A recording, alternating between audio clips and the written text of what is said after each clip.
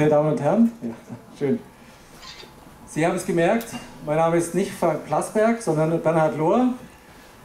Ich freue mich, dass ich Sie alle heute Abend zur allerersten Ausgabe von Quo Vadis Leben begrüßen darf. Wir sind nicht in der ARD, sondern wir sind in Leipheim, in Waldvogel. Ich habe es gesagt, mein Name ist nicht Frank Plasberg, sondern eben Bernhard Lohr. Es wird heute Abend nicht hart, aber deutlich. Sicherlich aber fair. Das Leben auf der Erde steht vor gewaltigen Herausforderungen und deshalb wird es höchste Zeit, die Frage Quo Vadis Leben zu stellen. Und mit diesen Diskutanten, mit diesen Gästen wollen wir heute über diese Frage sprechen. Hannes Jenecke, Schauspieler, Buchautor, Dokumentarfilmer. Wenn du einem Orang-Utan in die Augen schaust, blickt er direkt in deine Seele. Das sagt ein Mann, den man mit Fug und Recht als den bayerischen, aus meiner Sicht sogar als den deutschen Anwalt für die Waldmenschen Borneos bezeichnen darf. Helmut Huber setzt sich seit vielen Jahren mit einem unglaublichen Engagement und Krafteinsatz zum Schutz der Orang-Utans, der Nasenaffen Borneos ein. Und er tut dies mit einer Hingabe, die mir sehr, sehr viel Respekt abbringt. Ohne klare politische Regelungen wird es keinen Naturschutz geben und deshalb freue ich mich sehr, dass wir mit Dr. Anton Hofreiter, Fraktionsvorsitzender von Bündnis 90 Die Grünen im Deutschen Bundestag, einen Politiker begrüßen dürfen, dem Menschen und, und ich betone und, und Naturschutz wichtig sind. Lieber Toni, schön, dass du da bist.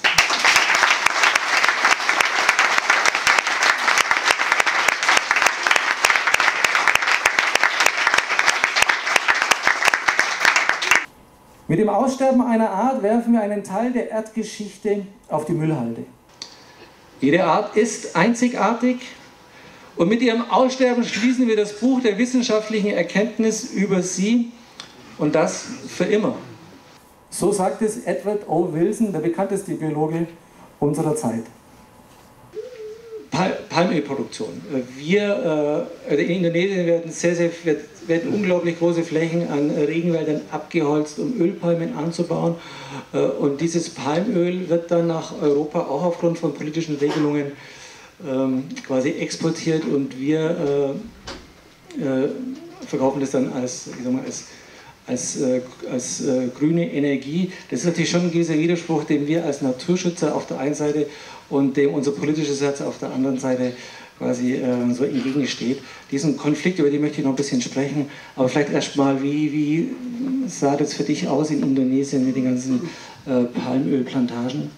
Äh, bitte nagelt mit, mit, mit Zahlen fest. Das Problem ist halt, also die, diese, diese, diese Gesellschaften, die Palmölplantagen anlegen, die rechnen natürlich so, wenn, äh, wenn eine Konzession vergeben wird für eine Abholzung, dann haben sie praktisch in den ersten sieben Jahren oder fünf Jahren doppelten Gewinn, weil der, die Abholzung äh, des Regenwaldes, also ein Hektar Regenwald mit also Primärregenwald, hat sehr viel gutes Holz, was sehr, sehr wertvoll ist.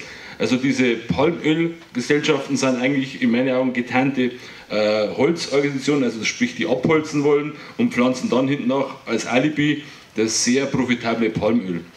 Äh, Palmöl an sich als Rohstoff, äh, leider ist Palmöl ein guter Rohstoff. Also ich, ich muss das so sagen, nur äh, einfach Indonesien hat sehr gescheite Leute auch in der Regierung, nur die Durchsetzung äh, irgendwo in, auf Borneo ist natürlich sehr schwierig. Also wenn wir jetzt hingehen als Naturschützer, kaufen uns ein Hektar in dem Stück Regenwald, plötzlich haben diese, diese Gesellschaften ein Problem, weil irgendein Europäer stellt jetzt einen Anspruch auf einen Hektar in dem Abholzungsgebiet, wo die jetzt in Zukunft abholzen wollen. Also wird es ein bisschen schwieriger. Wir, wir können es äh, in, in, vielen Fällen im Endeffekt nicht verhindern, wir können es nur rauszögern. Äh, die, die kleinen Bauern, die versuchen, äh, Palmöl nachhaltig anzubauen, sind natürlich sehr stark in der Unterzahl. Und wenn ich höre wenn ich, oder wenn ich lese irgendwo, dass wir Produkte haben aus nachhaltigem äh, Anbau Palmöl, da muss ich sagen, äh, Indonesien war bis, oder Borneo war bis 1985 zu 96% bewaldet. Jetzt haben wir noch irgendwas übrig, glaube ich, unter, unter 50% Und äh, Indonesien, Borneo, wird die größte Palmölplantage der Welt. Und die Menschheit schafft es nicht, das aufzuhalten. Und wir mit unseren Tieren, wir müssen wieder schauen, wo wir bleiben es überhaupt für Möglichkeiten für Leute, die sich noch mehr engagieren wollen als über das Normalmaß hinaus? Also die Liste ist faktisch endlos. Ich gehe nur mal ganz kurz zurück zum Palmöl. Da macht es die Politik auch extrem schwer. Man könnte sich schon mal ein Gesetz erlassen, dass auf jeder Packung Nahrungsmittel, Kosmetik, was auch immer, draufsteht, wenn Palmöl drin ist. Ist nicht der Fall. Beim Nahrungsmittel steht einfach Speisefett drauf. Australien hat, hat sich verändert. Ja, dann bin ich nicht auf dem neuesten Stand. Trotzdem, wie viele Leute wissen, dass in Nutella, in allen Ferrero-Produkten, Palmöl ist? Also die, ähm, das sehe ich immer noch in jedem Hotel. Also dann bin ich da nicht auf dem neuesten Stand, muss mich entschuldigen. Ähm, ansonsten finde ich es ein bisschen schade, dass immer der schwarze Peter, ich nehme es als Beispiel, den Plastikmüll beim Verbraucher hängen bleibt. Warum gibt es nicht auch ein Verbot von Einweg-PET? Warum gibt es kein Verbot von diesem schwachsinnigen Plastikverpackung. Ich meine, jetzt kannst du geschnittenes Obst kaufen, jedes Obstteilchen ist eingeschweißt in Zellophan. Du kaufst einen Käse, jede Scheibe ist mit einer Plastik. Ich meine, auch das könnte man mal gesetzlich regeln. Ich, ich finde ich meine, ich produziere vielleicht alle acht Wochen eine Mülltüte. Ich bin lebe alleine am Ammersee, ähm, habe es da relativ einfach. Aber jetzt stell dir vor, du hast Kinder. Versuch mal einzukaufen, schnell in dem Rewe, Aldi, Lidl und versuch mal Verpackungsmittel zu vermeiden. Das ist faktisch unmöglich. Ähm, das wird jetzt endlich diskutiert, das Thema, weil die Chinesen nämlich plötzlich unseren Müll nicht mehr nehmen. Bis zum 1.1. diesen Jahres haben wir den Chinesen Milliarden gezahlt, damit wir unseren Plastikmüll einfach dahin verschiffen und die, dann war es ja weg. Jetzt sagen die Chinesen, macht immer bitte den Sauschlag bei euch sauber. Und jetzt plötzlich diskutieren wir es. Auch da fehlen jegliche Gesetze. Es gibt kein Gesetz gegen Mikroplastik. Warum hat Ruanda 2009 die Plastiktüte verboten? In Kenia wirst du verhaftet, wenn du mit der Plastiktüte über die Straße läufst. Samoa hat keine Plastiktüte mehr. Kalifornien hat den Plastikstrohhalm verboten. Also das geht ja, nur bei uns komischerweise nicht. Weil wir halt wieder mit so einer Lobby zu tun haben, die halt unglaublich mächtig ist. Herr Hofreiter, ich wollte Sie fragen, ob Sie nicht direkt auf die bio-vegane Landwirtschaft äh, zielen wollen, weil wir haben ja jetzt wirklich nicht mehr viel Zeit, um dieses Artensterben zu stoppen. Ich bin kein Fan davon, weil nämlich, wenn man sich das insgesamt anschaut, haben wir riesige Gebiete.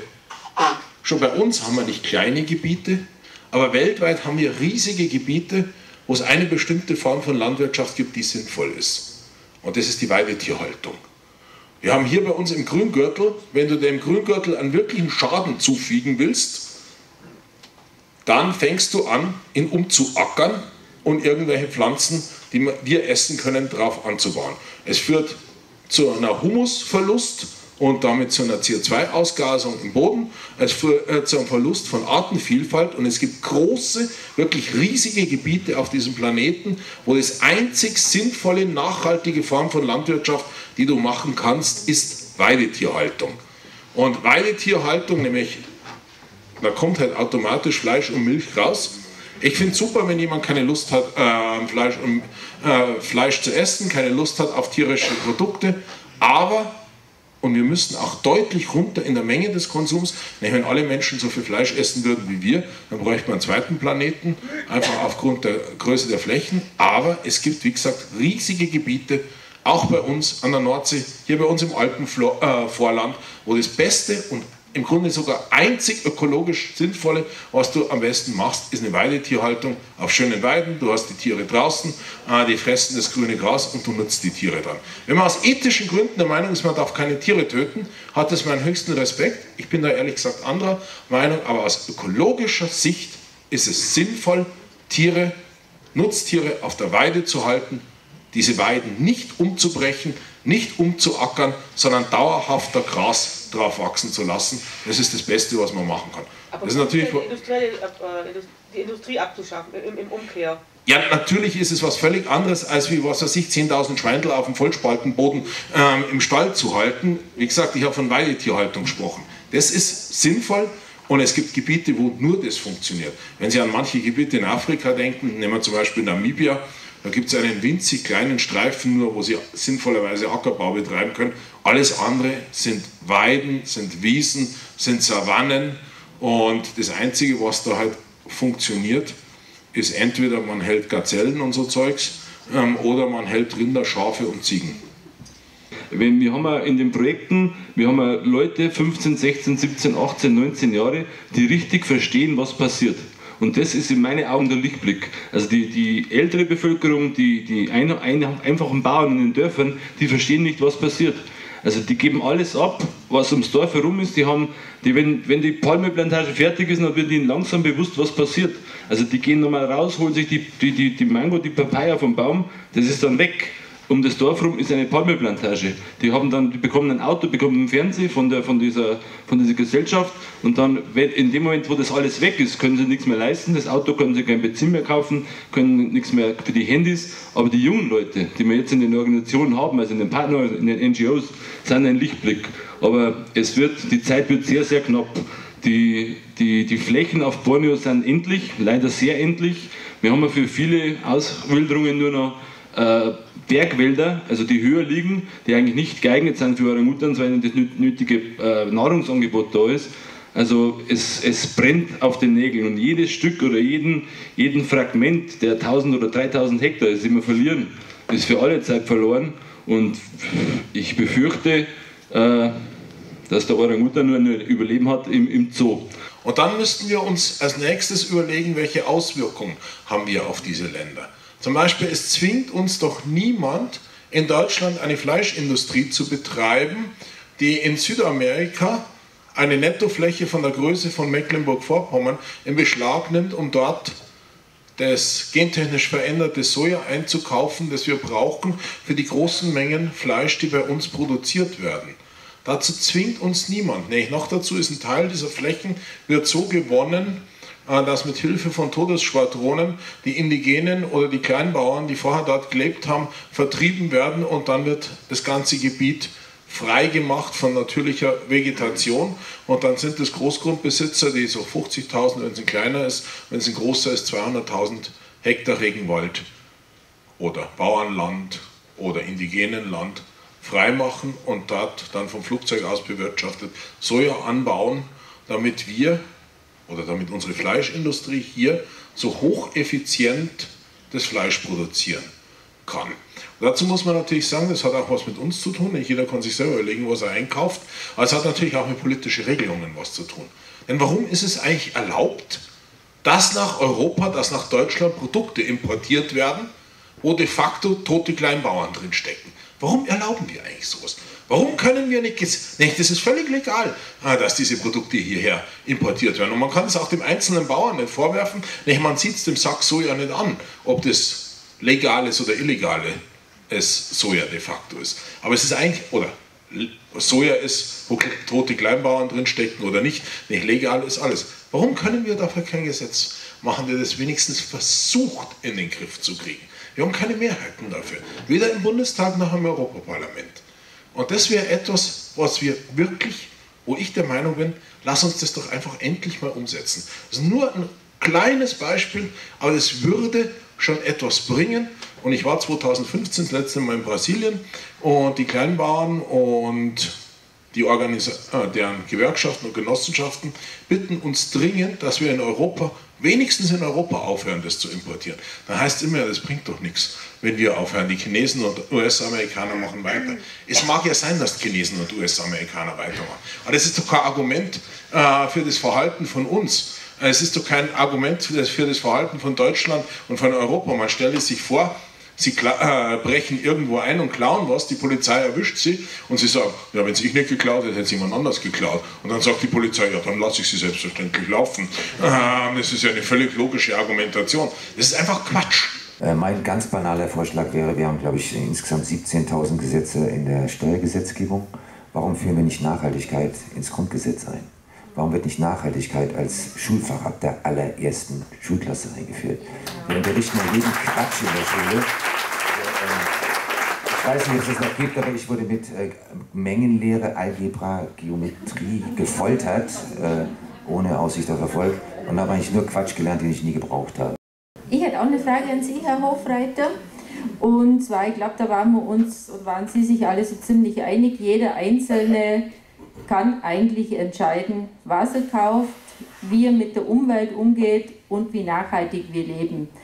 Ich möchte aber den, Ver den Verbraucher, wie Sie es eigentlich fast tun wollten, nicht ganz aus der Verantwortung nehmen und frage mich, wieso eigentlich nicht jeder Schüler verpflichtet wird, sich bestimmte Filme anzusehen.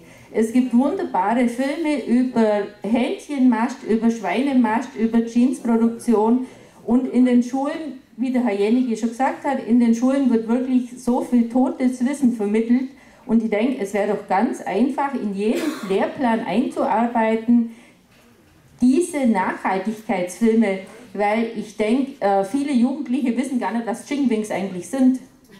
Die gibt es halt bei KFC und die kommen aus der Tüte.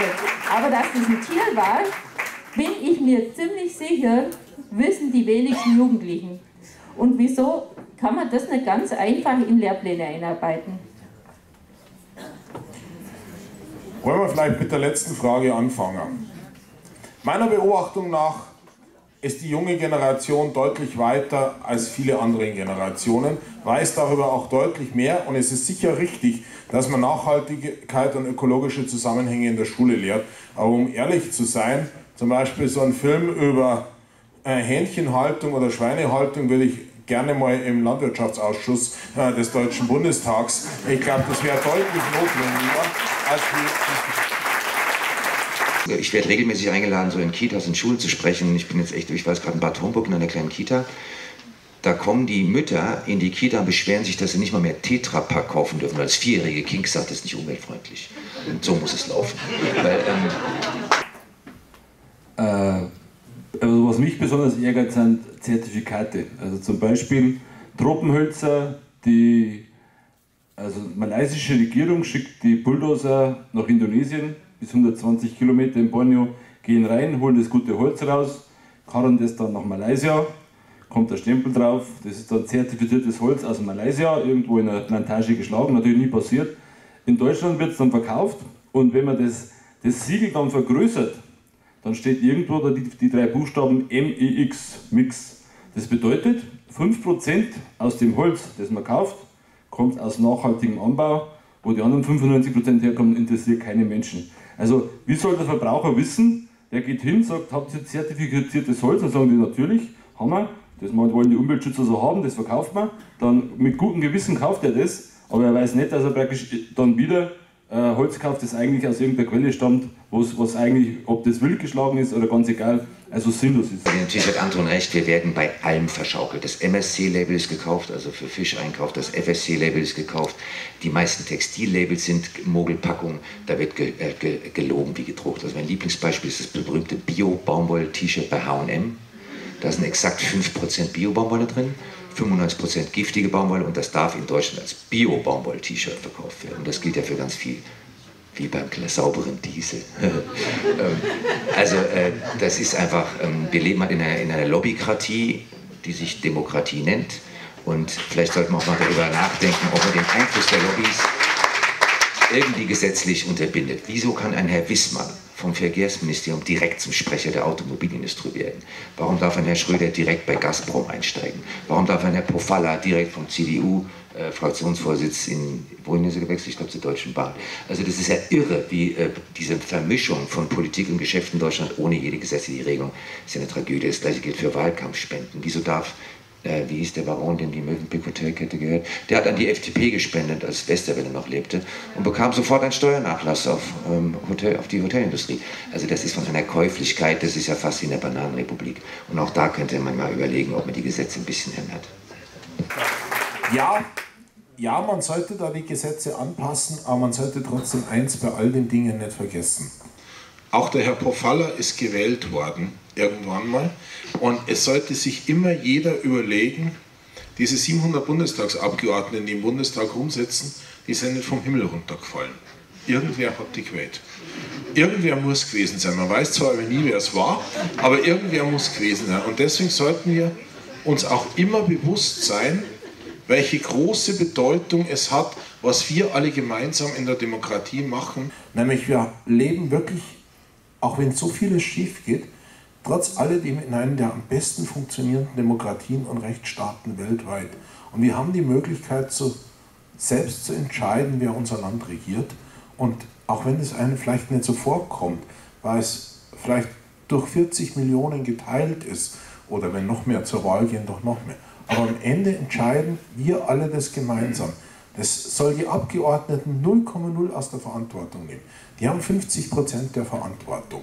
Nämlich, sie sollen vernünftige, anständige Gesetze machen, sie sollen nicht korrupt sein, sie sollen sich nicht zu sehr beeinflussen lassen von der Lobby und so weiter und so fort. Aber die anderen 50 Prozent haben wir alle gemeinsam, weil wir alle gemeinsam entscheiden, wenn auch als Einzelnen und zu einem sehr geringen Anteil, wer uns gemeinsam regiert. Und das ist, da ich sehr, sehr viele andere Länder gesehen habe, wo das nicht der Fall ist, ist ein irres Privileg. Und für dieses Privileg sollte man immer Werbung machen und dieses Privileg sollte man immer verteidigen und sollte man auch sehr bewusst wahrnehmen. Das wäre eine ganz, ganz große Bitte von mir. Vor allem, das hat mit dem heutigen Thema weniger was zu tun, außer indirekt, vor allem angesichts der Tatsache, dass im alten Sitz des Deutschen Bundestags, im alten Reichstagsgebäude, wo man noch die Schäden vom Zweiten Weltkrieg sieht, weil es so sensibel renoviert worden ist, seit der letzten Bundestagswahl wieder Rechtsradikale rumlaufen und zum Teil nationalsozialistische Reden gehalten werden, was ich wirklich sehr beschämend finde.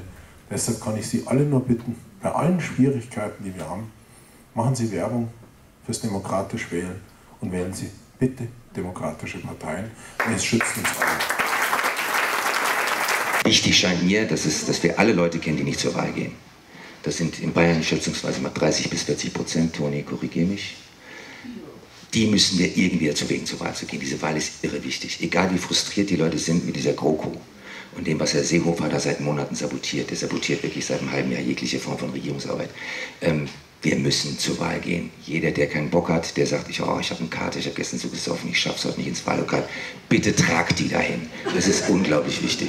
Nicht aufgeben geht, gilt halt nicht. Ich komme ursprünglich aus Köln und als ich ein Kind war, durfte ich wirklich auch aufgrund des Verbotes meines Vaters, der Biochemiker war, nicht mal den Fuß in diesen Fluss stecken. Das galt auch für meine Geschwister.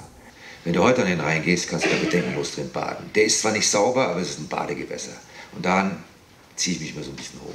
Das war vor 40 Jahren eine Giftkloake. Wenn man einen, einen unentwickelten analogen Film reingelegt hat, war der nach, glaube ich, 6 Stunden 40 Prozent entwickelt. Das ist kein Scheiß. In der Wupper ging es noch schneller. Da ist man auf 60 Prozent gekommen. Also es gibt einfach Beispiele, die wirklich Hoffnung machen. Das ist die Einrichtung von Nationalparks. Ich drehe dauernd in afrikanischen Nationalparks, die zum Teil Bürgerkriegsgebiete waren, wie in Virunga im Kongo. Da vermehren sich Berggorillas wieder. Es ist wirklich ein Wunder. Die waren runter auf 850 Exemplare. Mittlerweile gibt es über 1000. Also es gibt immer so ein paar Hoffnungsbeispiele, an denen man fest. Wildtiere, totales Versagen des Gesetzgebers. Du musst doch nur verbieten, dass du ein nachtaktives Äffchen aus dem Amazonas zu Hause halten darfst, das auf YouTube postest und dann zwei Millionen Klick hast. Das ist eine solche Tierquälerei, der Gesetzgeber macht nichts dagegen. Wir haben nicht mal ein Zirkustierverbot, weil Herr Kauder und Herr Stumpf, glaube ich, heißt er in Bayern, und Herr Stoiber große Zirkusfans sind. Herr Stoiber mit seinen Enkeln lebenslängliches Gratisbesuchsrecht beim Zirkus Krone. Man wundert sich, dass es kein Wildtierverbot gibt im deutschen Zirkus. Ähm, das, da muss der Gesetzgeber was tun. Ich kenne diese Aufwärtsstoß und ich drehe die ständig. Das ist für die Ehrenamtlichen ein verzweiflungsvoller Kampf nur weil der Gesetzgeber einfach schläft und nichts dagegen tut. Also das wäre irre leicht zu beheben. Und jetzt gebe ich an Helmut weiter, weil der führt einen Krieg, der ist meines Erachtens tatsächlich nicht zu gewinnen. Also mir fällt es sehr schwer, jetzt irgendwas Positives zu sagen. Äh, es ist nur, wenn man sieht, dass ein Tier, ein Orang-Utan, der den Menschen zu fast 97% gleich ist, der eigentlich nur nicht reden kann, weil er zu großen Kehlkopf hat, wenn man dann sieht, wie die Tiere behandelt werden. Wir werden also hab jetzt, wir haben jetzt im Mai einen Film gedreht, waren wir auf Borneo und dann haben wir einen Hinweis bekommen, dass in der Kiste irgendwo in unserem, in unserem Dorf, in unserer Palmölplantage ein Orang-Utan sitzt. Da sind wir hingefahren, da sitzt seit acht Jahren sitzt ein Orang-Utan-Mann in der Kiste, äh, Meter auf einen Meter, der verbringt sein Leben dort. Also der Orang-Utan weiß nicht, dass er ein Orang-Utan ist. Und jetzt muss ich nach Deutschland gehen, muss versuchen, hier vielleicht 10.000 Euro zu besorgen, dass man Polizei und staatliche Stellen äh, so weit bringt, dass wir den Orang-Utan abholen können. Äh, was gibt es positiv zu sagen? Es gibt kein, kein Zurück. Also man kann, nicht, man kann nicht Projekte starten und die jungen Leute dort sowas anregen und sagen, wir sind mal da, wir unterstützen euch und dann nach fünf Jahren sagt man, okay, das war's jetzt, wir sind jetzt raus aus der ganzen Geschichte. Also solange ich das irgendwie noch kratzen kann, werde ich es machen und äh, ich bin froh über jeden, der kommt und helfen will. Ich glaube, es gibt halt einfach keine Alternative. Was ist denn die Alternative? Zu sagen, okay, es ist spät, lass was bleiben, geben wir auf? Nein, dafür gibt es überhaupt keinen Grund. Und dafür äh, kommt auch noch was anderes dazu. Ich komme ursprünglich aus einer Arbeiterfamilie. Mein Großvater war Maurer, mein anderer Großvater hat bei einem großen Elektrikkonzern gearbeitet. Und wenn ich mal anschaue, wie es denen gegangen ist, dann welche Chancen schon mein Vater hatte, der erst Maschinenschlosser gelernt hat und dann irgendwann über den zweiten Bildungsweg Ingenieur war. Und ich war das erste Kind bei uns in der Familie, das aufs Gymnasium gehen hat. Und wenn man sich anschaut, wie es die Arbeit dann noch vor 100 Jahren gegangen ist, wenn die damals gesagt haben, mein Gott, das ist alles so schlimm, und die haben unter ganz anderen Bedingungen gekämpft. Bei denen ist es oft ums Leben gegangen, die sind bedroht worden, da war die Demokratie noch nicht gesichert und so weiter und so fort. Die haben trotzdem gesagt, wir geben jetzt nicht auf. Wir geben auch nicht noch. Und wir kämpfen für sowas wie Arbeitssicherheit, für äh, sowas wie 8-Stunden-Woche. Und hey, im Vergleich dazu, klar, es gibt Leute bei uns, denen es wirklich schlecht geht. Aber die meisten im Vergleich dazu gibt es doch Butter. Und wir haben doch alle Chancen, wirklich alle Chancen, das habe ich vorher schon mal gesagt, wir wissen so viel wie noch nie in der Geschichte der Menschheit. Wir haben doch alle Chancen, es hinzukriegen. Und deswegen sehe ich überhaupt keine Alternative. Ich sehe überhaupt keine Alternative. Warum sollte man aufgeben? Und außerdem kommt bei mir noch dazu, klar, es sind manchmal 80 Stunden, manchmal 90 Stunden, manchmal 100 Stunden. Ähm, und ich habe jetzt eine ganze Woche mal frei in den Neck gesehen. Aber außerdem macht der Job auch Spaß. Es ist ein wahnsinnig spannender Job. Ich habe die letzten fünf Jahre, äh, seit ich das Ding mit dem Fraktionsvorsitzenden mache, so viel gelernt wie noch nie. Wie noch nie in meinem Leben. Und du kommst mit wahnsinnig spannende, wahnsinnig tolle Leuten zusammen. Zum Beispiel, wir mit denen zwei. Und du siehst, du, wir haben alle Chance, unsere Lebensgrundlagen zu retten. Und deshalb sehe ich wirklich überhaupt keine Alternative, als wir es zu probieren. Was ist die Alternative? Wenn wir verlieren, dann ist eh alles spät. Also werden wir es Gewinner. Und wir werden es Gewinner, weil wir es Gewinner kennen und weil wir es Gewinner müssen. Und jetzt einfach ran an den Speck. Mit äh, diesem Statement hast du quasi unsere Veranstaltung heute auf den Punkt gebracht. Ich äh, ja, freue mich, dass es uns gelungen ist, so ein äh, so tolle Diskutanten, Gäste hier nach Leipheim zu bringen. Äh, ich freue mich, dass wir so ein tolles Publikum hatten. Ich denke, der große Rahmen, den wir uns vorgenommen, vorgenommen hatten aufzuzeichnen, der ist mehr als deutlich geworden. Ich möchte mich bedanken bei meinen Gästen, lieber Toni. Vielen, vielen Dank. Schön, dass du da warst. Damals. Ja, damit,